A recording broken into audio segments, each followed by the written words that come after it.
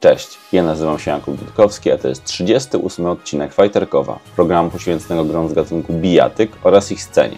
Dziś m.in. o pierwszym sukcesie Arsana w tym sezonie TWT, o testach 2XKO, które odbędą się w sierpniu, a także o patch notach do Mortal Kombat 1.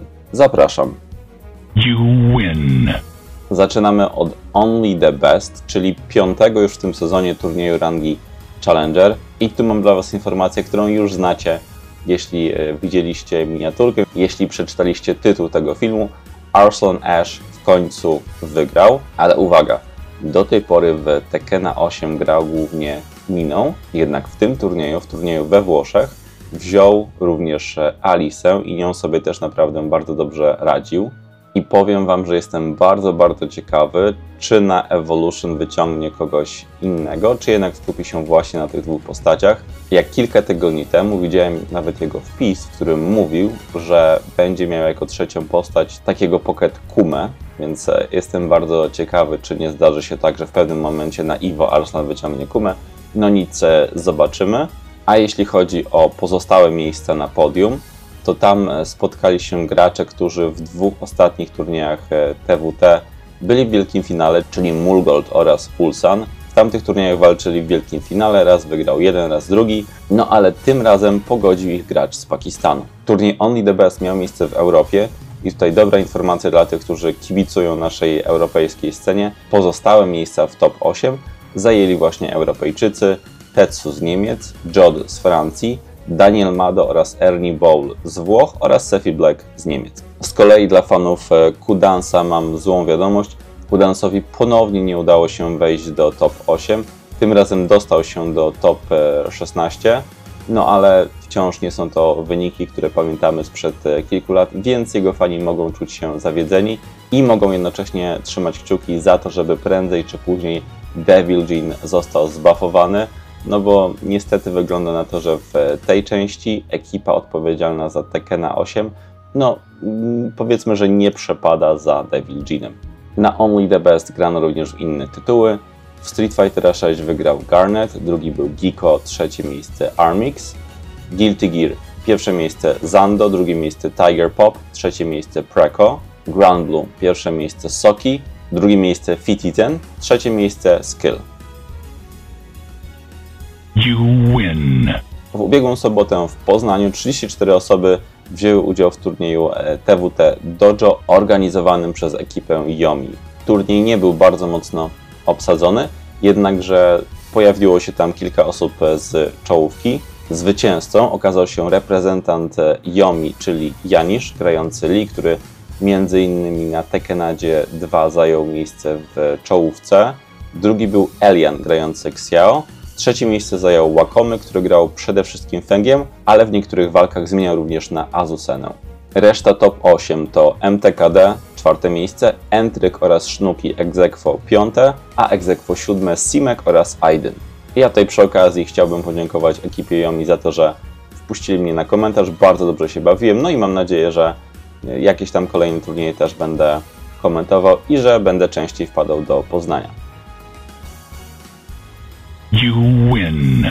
W ubiegły weekend grano również w Tekkena w Gdańsku. Był to turniej Kingwin Tekken Cup 2. Na turnieju pojawili się tacy gracze jak Widowmaker, Skyhold czy osiedlowy ziomek SMS. Natomiast e, top 3 wyglądało następująco. Pierwsze miejsce Tapchan, drugie miejsce Wredny, znany również jako Redmitsu, trzecie miejsce Maniek. Ja tego turnieju nie oglądałem, więc ciężko mi powiedzieć jaki był e, przebieg. Natomiast standardowo link do VOD znajdziecie w opisie. You win. Evolution w Las Vegas e, coraz bliżej, a zapisy na to wydarzenie zostały już zamknięte, dzięki czemu wiemy, że w Las Vegas pojawi się ponad 10 tysięcy uczestników. Jest to absolutny rekord. Do tej pory najwięcej, ile uczestników było, to nieco ponad 9 tysięcy. Natomiast jeśli chodzi o Evo Japan, tutaj rekordową liczbą było ponad 6400 uczestników. Warto tu również nadmienić, że bardzo dużo uczestników zobaczymy w turnieju Street Fighter 3 First Strike. Będzie to największy, jak do tej pory, indywidualny turniej w tę grę, w którym wystartuje ponad 1000 osób, I tu jeszcze może dla kontekstu. Organizatorzy podkreślają, że będzie to największy indywidualny turniej First Strike'a z racji tego, że w Japonii swego czasu odbywały się turnieje drużynowe bodajże 5 na 5 albo 3 na 3 nie pamiętam w tym momencie. W każdym razie były to turnieje Corporation Cup. Odbywały się zwykle na początku roku, chyba od kilku lat już się nie odbywają.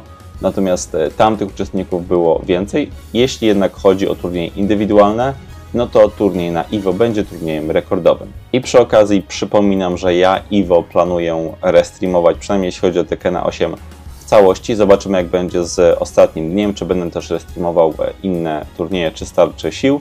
Natomiast pamiętajcie, że Iwo warto oglądać z racji tego, że zawsze mamy wtedy jakieś e, ogłoszenia, no i podejrzewam, że wtedy poznamy być może nowe bijatyki, e, a na pewno co najmniej postacie DLC do tych bijatyk, które gramy teraz.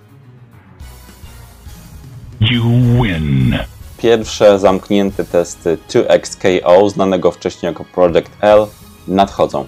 Odbędą się w dniach 8-9 sierpnia i wziąć udział w nich będą mogły osoby ze Stanów, Kanady, Wielkiej Brytanii, Brazylii, Japonii oraz Meksyku, a platformy, na których będzie można grać właśnie w ten tytuł, to PC, PlayStation 5 oraz Xbox Series X oraz S.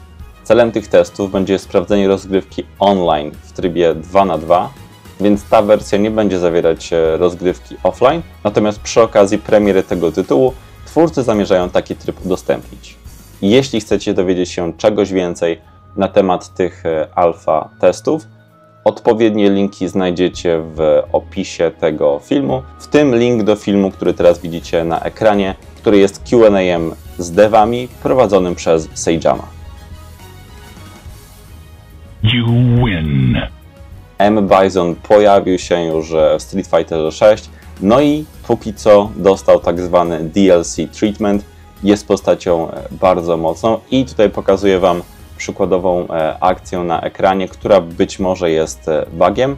Chodzi o to, że Bison ma coś takiego jak minę, którą może zaaplikować przeciwnikowi i z jakiegoś powodu znowu albo bug, albo taki wybór balansowy może aktywować w grze w tym momencie dwa razy w jednym kombosie, a na ekranie widzicie, jakie to daje efekty.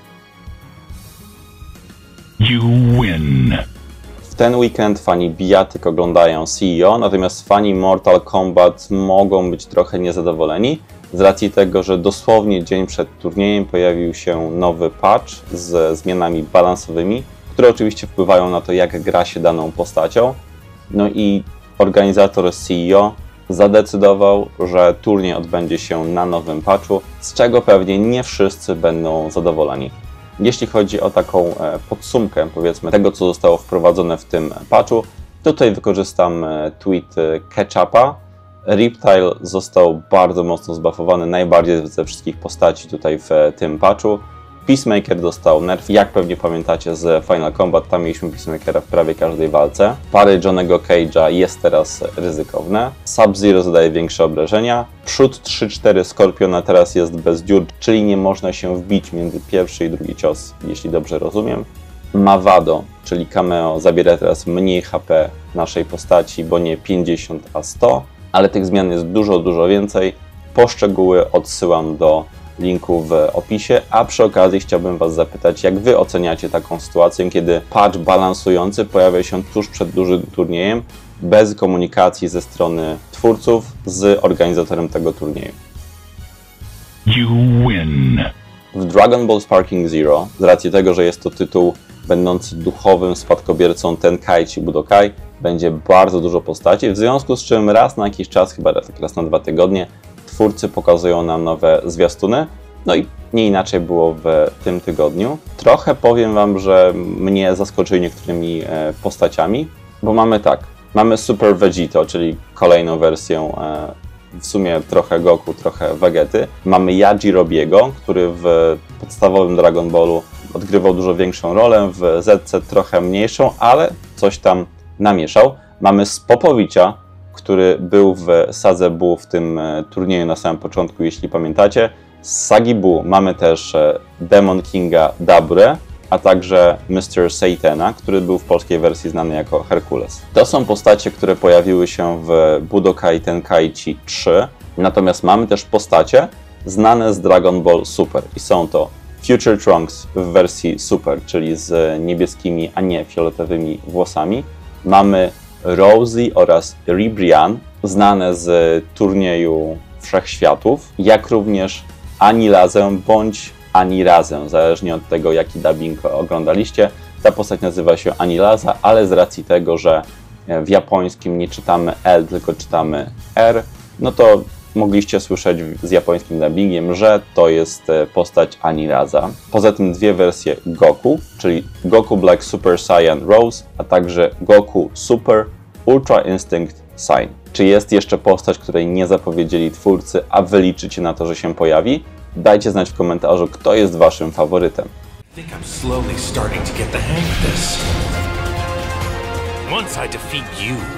I shall achieve the very pinnacle of strength. Now you will taste my blade! Not bad. Want to see if you can keep up? Bet you can't. Rejoice and praise be! Together, we shall achieve the very pinnacle of radiance. Let the wrath of a god sink in! This is the end for you!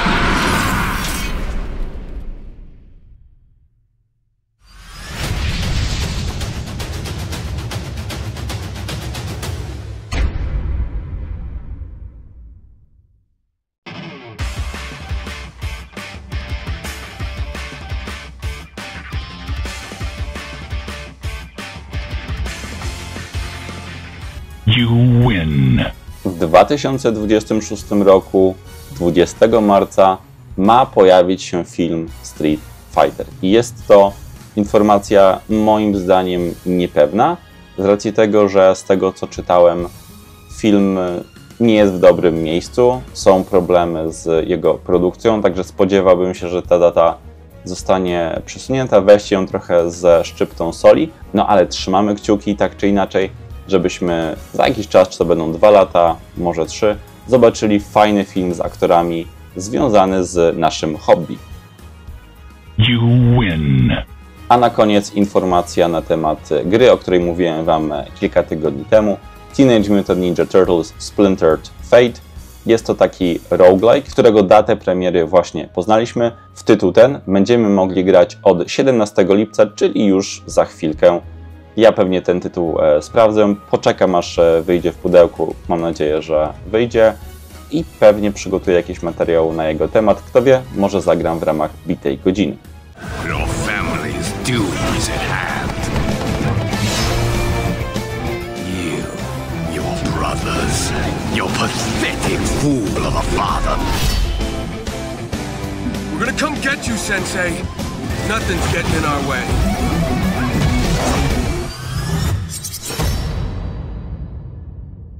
You win. To wszystko na dziś. Dziękuję za obejrzenie tego odcinka. W Fighterkowie widzimy się najwcześniej za dwa tygodnie.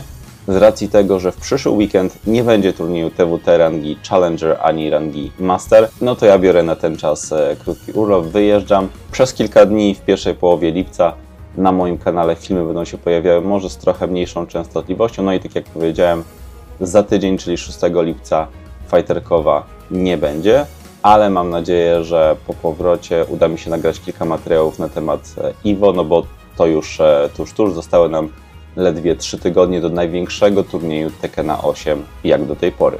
A w międzyczasie, no pewnie jak e, oglądacie ten materiał, to streamuję e, CEO, dlatego że w ten weekend zacząłem w piątek, dziś jest sobota, też streamuję, w niedzielę od północy, a 13 lipca widzimy się na żywo w Katowicach na turnieju Cyberiada. Do następnego, cześć!